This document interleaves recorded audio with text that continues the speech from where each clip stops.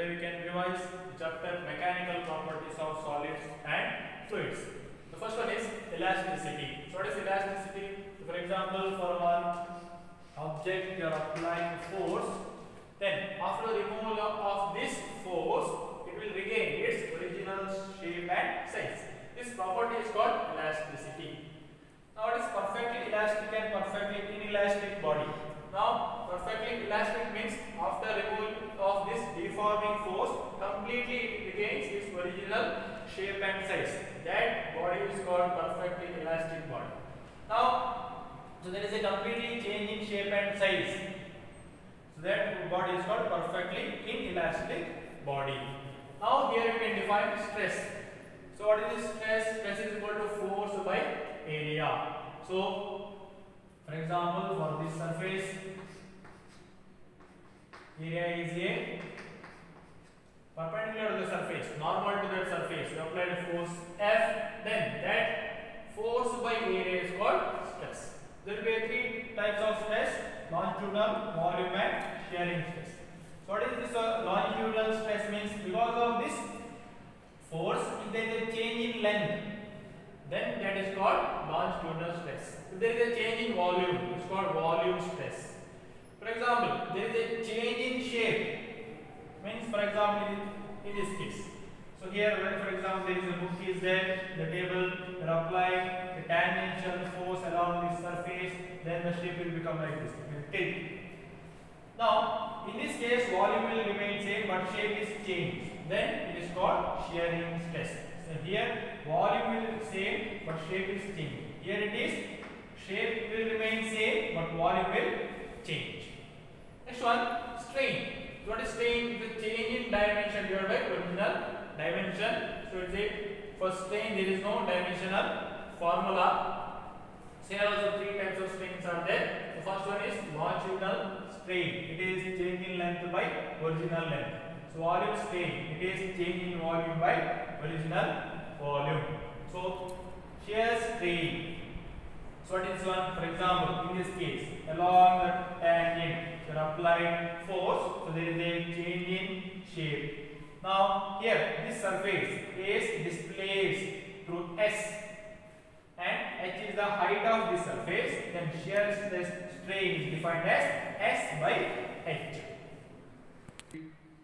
So next one is Hooke's law. So what is Hooke's law? Within an elastic limit, stress is directly proportional to strain. If stress increases, strain also increases. Now we have one graph of typical graph of stress versus strain for a wire. Now the graph will look like this. Now at the beginning, stress and strain will be directly proportional up to a point A. So here stress and direct proportional up to point A. This point A is called proportional limit. Up to A, it is proportional. now a point B you will get it is called elastic limit. Means before this point B, this body will regain its original shape and size means it will show elastic property up to point B. So point B is called elastic limit. So after this point it will not show this elastic property. Now after this what happens up to point C, so there will be a, some permanent be there, strain will be there in that body. How much strain will be there? So for this line you draw one parallel line here. Now this much strain will be there up to point C. So after that you cannot see the shape at a point D. So there will be a break in that material. So D is called fracture point. So next one ductile material and So what is ductile material? Now from this elastic limit to this fracture point there is a large this size is very large then that type of material is called ductile material. For example, copper will show that one and silver will show. Next one, brittle material. So glass for example for brittle material. What is this one? So this one after the elastic limit, this one, the gap between fracture point, it is very less. For after this point, for less stress, it will break. It's called brittle material. So brittle material we are, can't use for making springs. Only ductile material we can use for making of spring. Next one, types of modulus. In that first one is Young's modulus. So what is Young's modulus? It is longitudinal stress by longitudinal strain. Now, for example, for perfectly rigid body, rigid body means there is no change in shape or change in size. So for that delta L will be zero. If delta L is zero, hence modulus how much will get? It is infinity for a perfectly rigid body. So next one is bulk modulus. So what is bulk modulus? Bulk stress by bulk strain. So F by A divided by delta V divided by V. Next one rigidity modulus. It is shearing stress by shearing strain. F by A divided by theta. One. So modulus of this elasticity series does not depend on dimensions. No, no depends on length or area. Does not depends on, on that one. For solids, modulus of elasticity is more. For solid, these three x modulus or this bulk modulus will be more because the compressibility. If you want to change the length, it will be difficult for solid, so it will be more for this one. Solid possesses all three modulus. In this, what we discussed now, all three modulus is there for solids. Liquid and gas only bulk modulus. So there is no definite shape for this liquid and gases. So for liquid and gas only there will be a bulk modulus. So as the temperature increases, modulus of the elasticity decreases. So these three modulus will decreases as the temperature will be increases. So now we have here two stress strain graph of A and B. Now here we have to say which is more elastic and which is less elastic. Now see, you can see this straight line graph here. Here, stress by strain. What will give? It is the slope of that graph. Now when the slope of graph is more, here it is more. Theta is more here.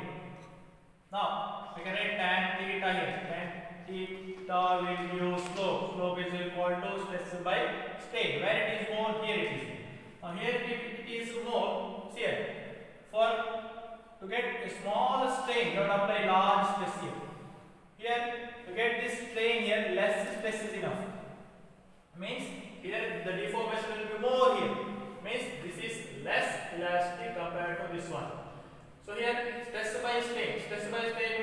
It is Young's modulus. So here also Young's modulus will be more here. Here Young's modulus will be less. So just by seeing this angle you can make out. If theta is less, Young's modulus is less. Young's modulus less means it is less elastic.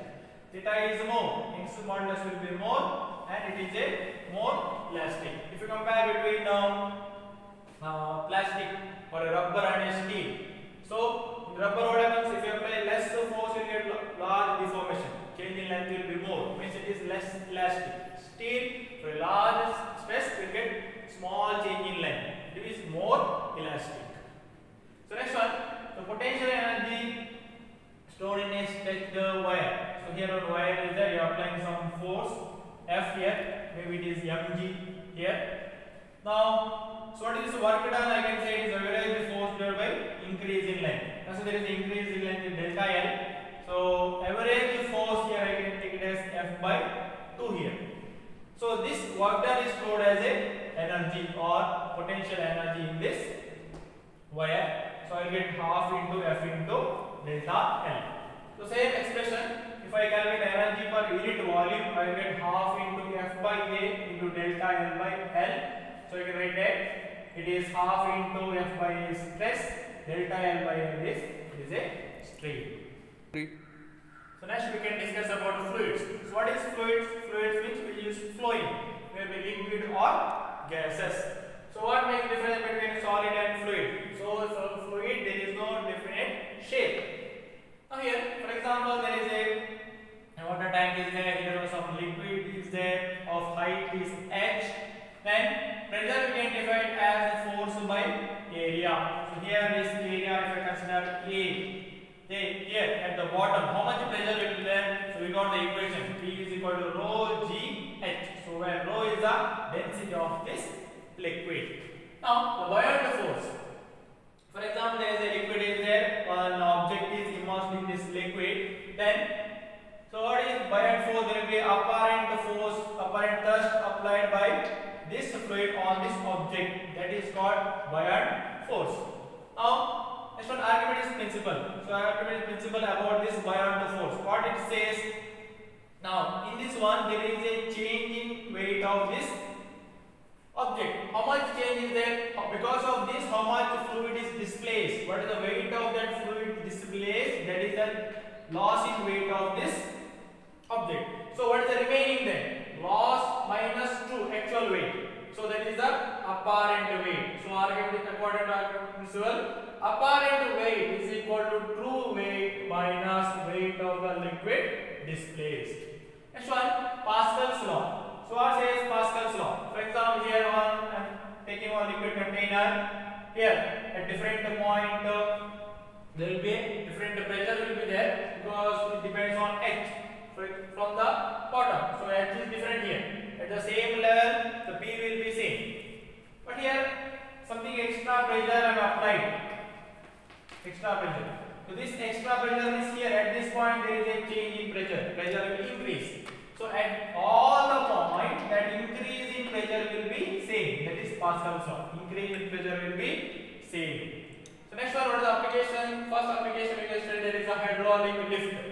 So here in this case, see, you are applying force F1 here for this piston. You are getting F2 force you. If you apply force here, here fluid will go up. Here, one changes here, the area is less here, the area will be more. So according to Pascal's law, force in this point and in this point will be not force. Pressure in this point and in this point will be same. So pressure you can write here it is F1 by A1, here it will be F2 by A2. That will be same according to this Pascal's law. So here if you have A1 is less, F1 also less, A2 will be more means F2 also more. Means by applying less force you are getting large force. So next one is streamline flow and turbulent flow. So what is streamline flow and turbulent flow means consider this uh, flow of liquid in this pipe. Consider at a point, in this point, the velocity of all the particles is same. For example, velocity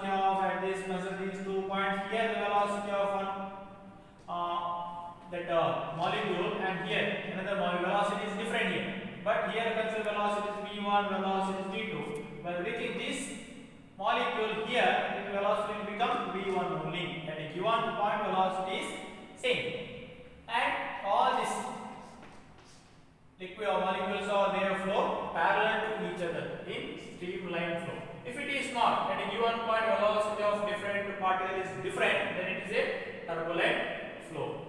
Now, equation of a continuity. So, what is the equation of continuity? Here, consider there is a pipe is here, here, this flowing, here area is A1, here area is A2. Here velocity will be V1 and velocity will be V2. Consider. Then the product of area and velocity will remain constant. A1, V1 is equal to A2, V2. So, next one is Bernoulli's principle. So, Bernoulli's principle will be, will be there for what's good for only streamline flow.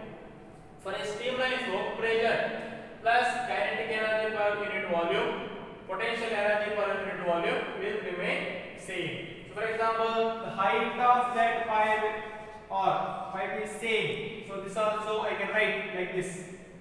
Pressure and kinetic energy will remain constant. Now here, what happens here?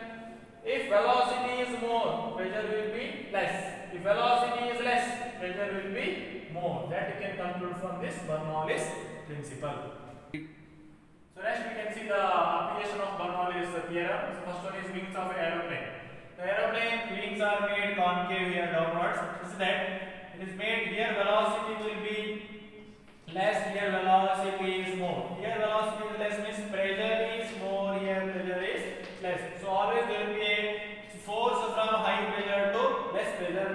upward direction there will be a force so this aeroplane is lifted. Next one atomizer. Atomizer or spray So in sprayer what happens when this bulb is squeezed the air will flow here. Means there is a velocity here. Means velocity is that here pressure will be less here pressure will be more means there is a force in the upward direction here in this. So this liquid will go up and it is sprayed. The next one is viscous force. So viscous force in the fluid. What happens here? So you can consider this fluid as a different layers. In between these different layers, there will be a force.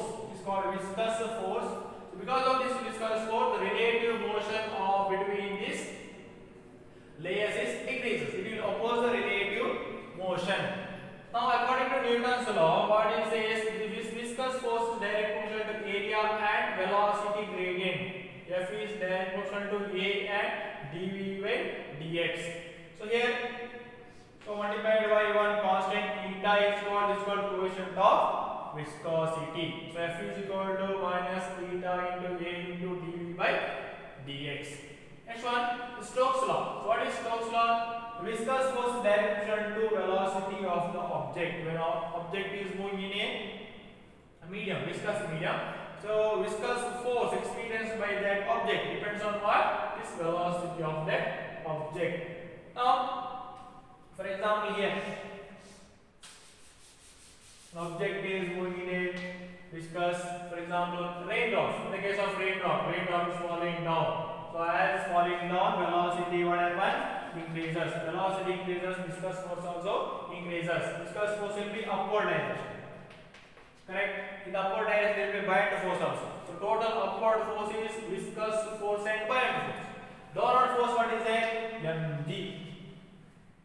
Now this is increases. At one point when velocity, upward force will be equal to downward force. Means what is the total force? Total force will be zero. Total force is equal to zero. Acceleration is zero. Means after that point or that velocity, this raindrop will be moving downward with the constant velocity. That velocity is called terminal velocity. Terminal velocity. Now, so also we can uh, derive the equation of viscous force for a spherical body in the uh, viscous medium. It is given by 6 pi eta r into Vt, where Vt is called terminal velocity. Now, so terminal velocity you can get the equation as 2 by 9 r square rho minus rho dash into g divided by eta where eta is called coefficient of viscosity density of that material which is moving in that uh, medium and rho dash is the density of that viscous medium. So next we can study surface tension. So what is the surface tension? Surface tension is a property of a liquid by which the free surface of a liquid will have a minimum surface area. So consider here some uh, one line of molecules here on both the sides. The force will exerted by the another molecules, different molecules. Consider this line of length is L. Total length is L. Then uh, in one side is considering the force F is there. The surface tension defined by F by L. Now from this formation of drops and bubbles is the reason for this. No, the reason for formation of bubbles and uh, drops are surface tension because it will have minimum surface area. Now here angle of contact. So what is the angle of contact? For example, here one uh, liquid is there, water. So so this one, this will wet the surface. So like this. So this angle between the tangent drawn on the surface where it is contact with the solid surface inside this liquid is called angle of contact. So for this liquid which will wet the surface, this angle of contact theta will be less than 90 degree or it is an acute angle you will get. Now here, for example, on mercury if you place, here it will form on this drop like this. It will not wet the surface. Now here, here also. This is surface, this is a point of contact here. If you draw one tangent here, this is the angle of contact. Now, so this angle of contact will be more than 90 degree. Obtuse angle will get. So this will not, if theta is more than uh, 90 degree, it will not wet the surface. Next one, excess pressure on a curved surface of a liquid. So for example, consider this curved surface like this. Now, so this will be concave. Here, if you see, it is a convex here. Always there will be excess pressure flowing the towards the concave side. Because, for example, if you consider here, at this point, there will be force like this. There will be a force in this direction. Resultant will give force towards this concave surface. Now, this excess pressure inside a liquid drop in air is given by P is equal to 2T by R. Inside air bubble, it is given by 2T by R. For a soap bubble, there will be two free surfaces, the equation excess pressure will come 4T by R, where T is the surface tension and R is the radius. So next one is application of a surface tension. The first one is action of detergent. Now if you wash your clothes without adding detergent, it is difficult to remove uh, some uh, oil or anything, mud. So if you add detergent, it is easy to remove that. Why it is? Because if you add detergent, surface tension of the liquid will decrease and area of contact, for example here some mud is an area of contact of liquid with this mud is increases and it's easy to remove. Now capillarity. So what is capillarity? For example, a liquid is there in your tube. If you insert here, there will be the shape will be concave upward. There will be rising. Uh, liquid level will rise here to height h. It's called capillary rise. So for example, in a wick oil will go up. Called capillarity. In uh, trees, the water will go from the roots to the different parts of a the plants because of this capillarity. The reason will be surface tension. Now, for example, in this, the height raised by given equation 2t cos theta divided by r rho g. Where t will be the surface tension and theta is the angular contact and r is this radius, radius, this radius r here and rho is the density of this liquid and g is the acceleration due to gravity. Thank you.